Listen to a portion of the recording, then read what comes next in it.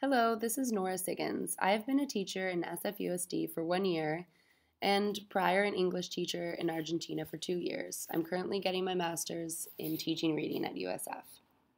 I'm excited to talk to you about Unit 1.2 Attributes of Two Dimensional Shapes.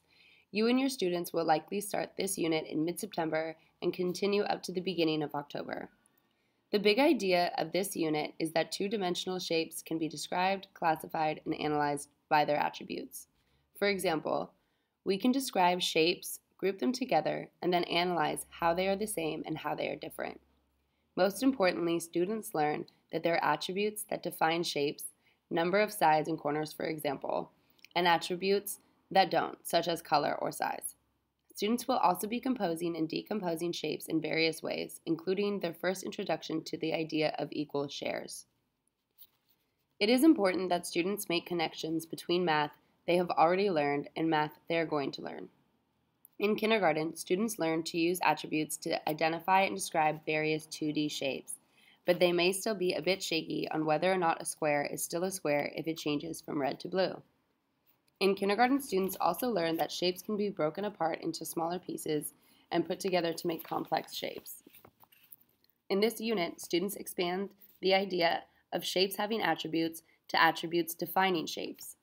They are also building from randomly breaking shapes apart to breaking them apart into equal pieces. In Unit 1.7, students will learn to describe, classify, and analyze 3D shapes. In second grade, students will learn to draw a shape given its attributes and extend their informal fraction understanding from making equal shares to making equal pieces in more than one way. Students start this unit by identifying the attributes that define triangles, rectangles, trapezoids, circles, and squares.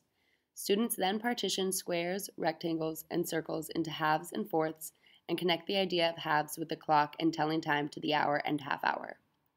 Don't worry too much about telling time. This is a very brief introduction to the subject and the topic will return in Unit 1.5 and in Math Talks and Learning Stations throughout the year.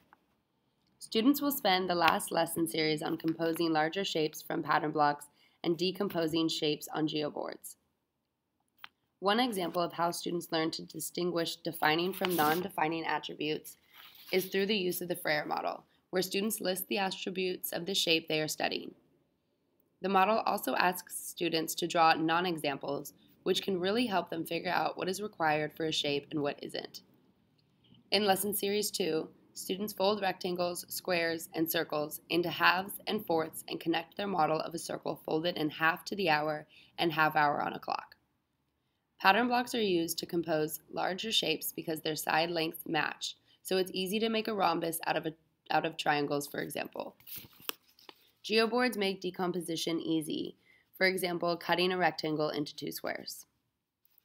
When you sit down with your colleagues to preview this unit, you should do the expert and milestone tasks together.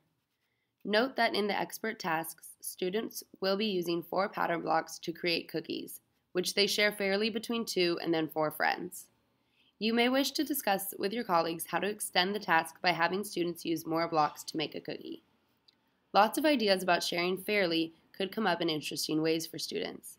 The milestone tasks returns to the big idea of shape identification and categorization. Students are allowed to use the Frayer model you created in Lesson Series 1 to help them with this task. Doing the tasks with your colleagues will help you to think of questions you might ask or sentence frames you might want to provide for your students. By the end of this unit, students will have had many experience with 2D shapes. They will identify and sort them by their attributes, compose them into larger shapes, and decompose them into a variety of smaller shapes and into equal shares. They will also get their first glimpse at analog clocks and telling time and connect this to the idea of equal shares of a circle. As always, if you have feedback, please go to sfusdmath.org and click on the Curriculum Feedback button. Have fun with this unit, and thank you for all that you do. We will see you again at the beginning of October for Unit 1.3 Addition Within 20.